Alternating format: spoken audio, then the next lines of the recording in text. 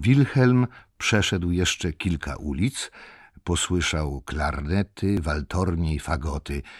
Pierś jego się wzdymała. Przejeżdżający grajkowie utworzyli przyjemną muzykę nocną. Przemówił do nich. Za małe pieniądze poszli za nim do mieszkania Marianny.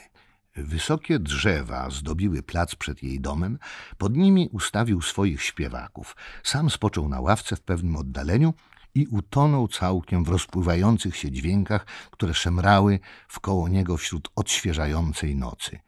Wyciągniętemu wobec pięknych gwiazd istnienie wydawało się snem złotym. I ona słyszy te flety, rzekł sobie w duszy, ona czuje, czyja to pamięć, czyja miłość czyni noc brzmiącą zgodnymi dźwięki i w oddaleniu wiążą nas z sobą te melodie, tak jak w każdym oddaleniu wiąże najdelikatniejszy nastrój miłości. Ach, dwa serca kochające to jak dwa zegary magnesowe, co się porusza w jednym, musi z sobą poruszyć i drugi, gdyż w obu działa to samo, taż siła, co je przenika. Czyż mogę w jej objęciach odczuć możność oddzielenia się od niej, a jednak będę od niej daleko, szukając miejsca zbawienia dla naszej miłości i zawsze mieć się będę ze sobą. Ileż to raz zdarzyło mi się, że będąc od niej oddalony, a zatopiony w myślach o niej, dotykałem książki, ubrania lub czego innego i sądziłem, iż czuję jej rękę, tak dalece byłem otoczony jej obecnością. A przypomnieć sobie owe chwile, które unikają światła dziennego jak oka zimnego widza, których by używać, musieli się bogowie zdecydować porzucić spokojny stan czystej błogości przypomnieć sobie, jak gdyby można było odnowić we wspomnieniach oszołomienie upajającej czary, co zmysły nasze niebiańskimi więzami spętane z posad wyrywa. A jej postać zatonął we wspomnieniu o niej. Spoczynek jego przeszedł w pożądanie. Objął drzewo, chłodził gorące lico o korę, a wiatry nocne wchłaniały chciwie oddech, który drgając wydobywał się z czystego łona. Chciał wydostać chusteczkę, którą od niej zabrał. Zapomniał jej. Została w poprzednim ubraniu. Wargi jego łaknęły, członki drżały od pożądania. Muzyka ustała, a jemu zdawało się, jakoby wypadł z żywiołu, w którym uczucia jego dotychczas się unosiły.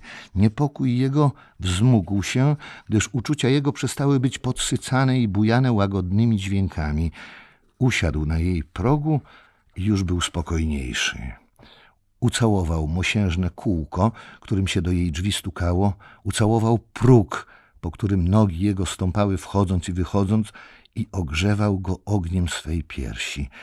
Potem siedział znów przez chwilę i wystawiał ją sobie poza firankami w słodkim spoczynku, w białym ubraniu nocnym, z czerwoną wstążką w koło głowy i siebie wystawiał sobie tak blisko niej, że mu się wydawało, iż teraz musiała śnić o nim. Myśli jego były miłe jak duchy świtu. Spokój i żądza zmieniały się w nim po kolei. Miłość drżącą ręką tysiąckrotnie przebiegała po strunach jego duszy. Tak mu było, jakby harmonia sfer zatrzymała się ponad nim, by wysłuchać cichych melodii jego serca. Gdyby miał był przy sobie klucz, którym kiedy indziej otwierał drzwi Marianny, nie powstrzymałby się, byłby się wdarł do świątyni miłości. Oddalił się przecież powoli, wlókł się na pół marząc pod drzewami, chciał do domu i ciągle coś go odwracało. W końcu, gdy się przemógł, poszedł i na rogu raz jeszcze się obejrzał. Wydało mu się, jakoby drzwi Marianny się otwarły i jakaś ciemna postać z nich się wydostała. Był za daleko, by móc widzieć wyraźnie, a zanim przyszedł do siebie i dobrze się wpatrzył, już zjawisko zniknęło w ciemności. Zdało się mu tylko, że widzi je znowu przechodzącym koło jakiegoś białego domu. Stanął i zmrużył oczy, ale zanim się ocucił i podążył, już widziadła nie było. Dokądże miał iść za nim. Jaka ulica przyjęła człowieka, jeżeli to był człowiek? jak ten, komu błyskawica oświetliła okolice w jednym zakątku, na próżno szuka zaraz potem oślepionymi oczyma poprzednich postaci, związku ścieżek w ciemności, tak się stało z oczyma Wilhelma, e, tak się stało z jego sercem. A jak widmo północne, wywołując ogromny przestrach, bywa następnie w chwili przejścia do siebie uważane za dziecko przestrachu, a okropne zjawisko pozostawia w duszy wątpliwości bez końca, Taki Wilhelm doznawał niezmiernego niepokoju, gdy oparłszy się o węgieł jakiegoś domu, nie zważał na brzask poranku i pianie kogutów, aż ożywiać się zaczęły wczesne sposoby zarobkowania i do domu go zagnały. Wracając, prawie wypędził z duszy wielce dobitnymi argumentami niespodziewane mamidło ale też i ten piękny nastrój nocny, o którym teraz myślał już tylko jakby o zjawisku, także minął całkowicie. By serce swe rozradować, by pieczęć przyłożyć na powracającej mu wierze, wyjął chusteczkę z kieszeni poprzedniego ubrania. Szelest ćwiartki papieru, która z niej wypadła, odjął mu chusteczkę od ust, podniósł liścik i czytał. Jak ja cię lubię, mały błazenku, co ci było wczoraj? Dziś w nocy przyjdę do ciebie. Wierzę, iż ci przykro stąd się oddalać, ale bądź cierpliwą. Na jarmark przybędę do ciebie. Słuchaj, nie wdziewaj mi już czarno-zielono-brunatnego stanika. Wyglądasz w nim jak czarownica z Endor. Czyż ci nie na to posłałem biały negliż, że w objęciach swych chcę mieć białą owieczkę? Bileciki swoje przysyłaj mi zawsze przez starą Sybillę. Sam diabeł obstalował ją na Irydę. Każdy, co z żywotnymi siłami usiłuje osiągnąć w oczach naszych cel jakiś, czy byśmy chwalili, czy potępiali jego zamiar, może sobie współczucie nasze obiecywać. Lecz skoro tylko rzecz się rozstrzygnęła, odwracamy natychmiast oko nasze od niego. Nic z tego, co już jest ukończone, dokonane, nie może przywiązać do siebie uwagi naszej, zwłaszcza gdybyśmy już dawniej przepowiadali zły wynik przedsięwzięcia. Z tego powodu czytelników naszych nie będziemy zabawiali szczegółowym opisem cierpienia i nieszczęścia naszego zbolałego przyjaciela, w jakie popadł, ujrzawszy zniszczonymi w sposób tak niespodziewany nadzieje swoje i pragnienia. Przeskoczymy raczej lat kilka i odszukamy go znów tam, gdzie spodziewamy się go znaleźć, wśród pewnego rodzaju działalności i używania, opowiedziawszy tylko w przódy pokrótce, co dla związku historycznego jest niezbędnym. Zaraza albo złośliwa gorączka szaleją szybciej i gwałtowniej w zdrowym, pełnym soku w ciele, którego się i mają. Tak też biedny Wilhelm owładnięty został nieszczęśliwym losem tak niespodziewanie, że w jednej chwili rozprzęgła się cała jego istota. Tak prawie jak kiedy podczas przygotowania zapalał się fajerwerki, a kunsztownie wydrążone i napełnione patrony, które według pewnego planu uporządkowane i puszczone, miały w powietrzu narysować wspaniale się zmieniające obrazy ogniste, teraz nieporządnie, niebezpiecznie jedne przez drugie syczą i pękają, podobnie w jego łonie mijały się obecnie chwiejąc szczęście i nadzieja, rozkosz i radość, rzeczywistość i marzenia. W takich strasznych chwilach drętwieje przyjaciel śpieszący na ratunek, a dlatego, kto został dotknięty dobrodziejstwem jest, że go opuszczają zmysły. Nastąpiły potem dni głośnego, ciągle wracającego i umyślnie wznawianego bólu, ale i te poczytywać należy za łaskę natury. W takich godzinach Wilhelm nie tracił jeszcze całkiem swej ukochanej. Bóle jego były to niezmordowanie wznawiane próby, aby szczęście, które mu z duszy uciekało, jeszcze przytrzymać, możliwość jego w wyobraźni pochwycić, rozkoszom na zawsze zamarłym, krótkie jeszcze życie pośmiertne zapewnić.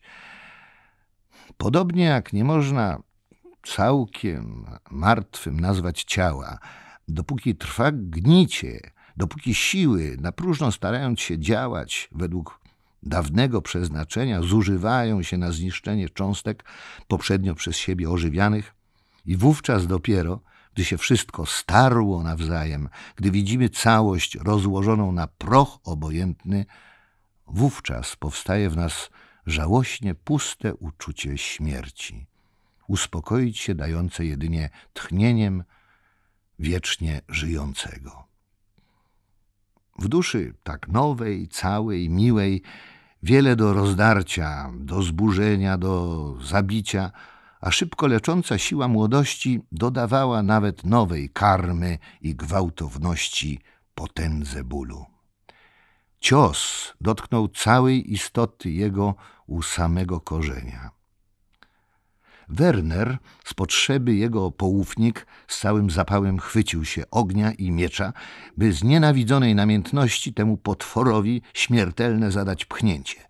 Sposobność była tak szczęśliwa, świadectwo tak pod ręką, a z wieluż to historii i opowiadań umiał korzyści wyciągnąć. Robił to z taką gwałtownością i okrucieństwem, krok za krokiem. Nie dał przyjacielowi kordiału, choćby najmniejszego chwilowego mamienia się. Zastępował każdy zakątek, w który by się schronić mógł przed zwątpieniem, że przyroda, która nie chciała zniszczyć swego ulubieńca, zesłała nań chorobę, aby mu dać odetchnąć skądinąd.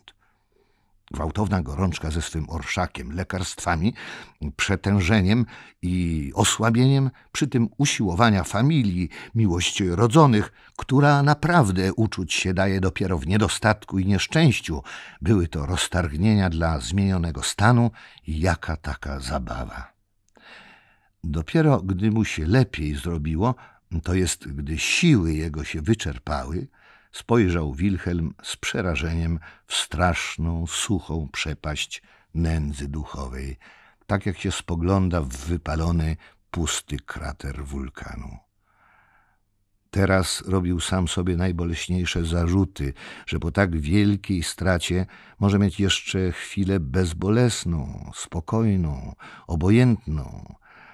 Pogardzał własnym sercem i tęsknił za kordiałem narzekania, i łez. A żeby je wzbudzić w sobie na nowo, przesuwał w pamięci swej wszystkie sceny minionego szczęścia. Z największą żywością malował je sam przed sobą, zatapiał się w nich, a gdy się wzniósł do możliwej wyżyny, gdy mu blask słońca dni poprzednich zdawał się znów ożywiać członki, pierś podnosić, oglądał się na okropną przepaść, pasł oko druzgocącą głębią, rzucał się w nią i wymuszał na przyrodzie najdotkliwsze bóle. Takim powtarzaniem, okrucieństwem rozszarpywał sam siebie, gdyż młodzież, tak bogata w siły ukryte, nie wie, co marnotrawi, kiedy do bólu wywołanego stratą przyłącza jeszcze tyle wymuszonych cierpień, jakby chciała temu, co utraciła, nadać dopiero przez to wartość istotną.